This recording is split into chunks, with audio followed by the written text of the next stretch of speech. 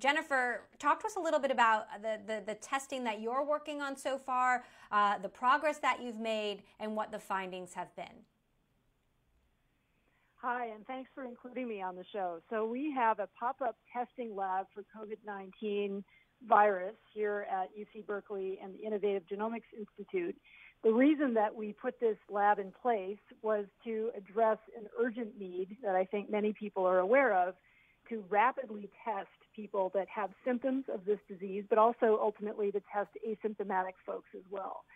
And uh, we need to we need to be able to test them. We need to be able to report the results quickly, and uh, and then we need to ultimately develop ways to track those infections and find out who is infect who has been infected and who is now protected from infection because they have uh, antibodies. And so ultimately, we want to do serological so, testing in the future as well. What are you doing differently than other labs that are returning tests in like one, two, or sometimes even three weeks? Well, we have a, a, highly automated system. We were able to get robots into our lab quickly by donations from companies and faculty around the UC Berkeley campus. We have a team of people who are highly trained in how to run these robots and also how to manage the data coming out of the test. And it's uh, just an operation. It's just been sort of amazing to see this operation come together so quickly with a team of people that, uh, you know, uh, three short weeks ago had no idea they would be doing this kind of work, but, but who recognized that they could lend their experience to this effort. What is the status of your federal certification? Uh, some labs and, and, and folks who've been working on tests have actually had them pulled by the FDA. Right. So we we're we're running a commercially available test that has an emergency use authorization from the FDA.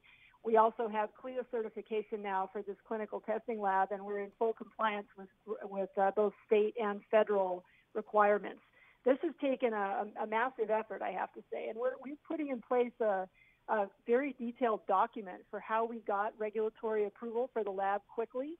And we're going to be posting that onto a preprint server shortly so that other institutions that want to do what we've done have a pathway for doing so.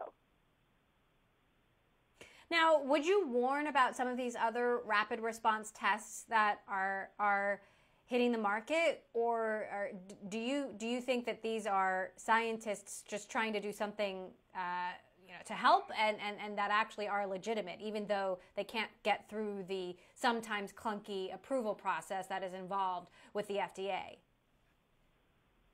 Look, I think that you know having having proper approvals for testing is critical for sure. You know, there's a there's an effort right now, as you know, to ramp up the testing capacity around the country and around the world. And so I'm, I certainly applaud those that are stepping up to do this. Ultimately, those tests need to be approved, though, for, for clinical use. Why do you think we still lack appropriate testing in the United States? I mean, certainly things are ramping up, but but but but not fast enough. Well, I think it's a combination of things. I, I, I learned, uh, I was very surprised to learn that commercial testing laboratories, at least out here in California, where, where I'm located, have a, up to a seven day turnaround for patient samples. And the reason is that many of those labs are running manual operations. They're not, they're not automated.